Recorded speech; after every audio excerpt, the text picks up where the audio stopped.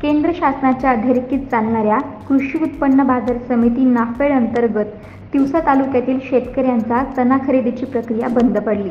केंद्राचे नाफेड पोर्टल अचानक बंद पडल्याने शेतकऱ्यांचा लाखो रुपयांचा माल कृषी उत्पन्न बाजार समितीच्या परिसरात पडून आहे. त्यामुळे शेतकऱ्यांच्या चिंतेत वाढ झाली आहे शुक्रवारी सायंकाळी पाच वाजता अचानक नाफेडचे हे पोर्टल बंद पडले. त्यामुळे आज शेकडो शेतकऱ्यांनी संताप व्यक्त करत थेट तहसील कार्यालयावर धडक दिली. काल पोर्टल खरेदी पोर्टल बंद झालं. काल अचानक पाच वाजता. तशी अठरा सहा तारीख दिली होती.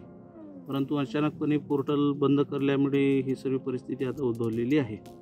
आणि यासाठी नाफेडने जर पोर्टल चालू केलं तर संस्था शेतकऱ्यांचा सर्व माल मोजण्यास कटिबद्ध आहे. महाराष्ट्रातील सर्व बातम्यांचे विश्वासार्ह व्यासपीठ. सकाळच्या सर्व सोशल मीडिया प्लॅटफॉर्मला लाईक फॉलो आणि सबस्क्राईब करा. तसंच सर्व नोटिफिकेशनसाठी बेल आयकॉन प्रेस करायला विसरू नका.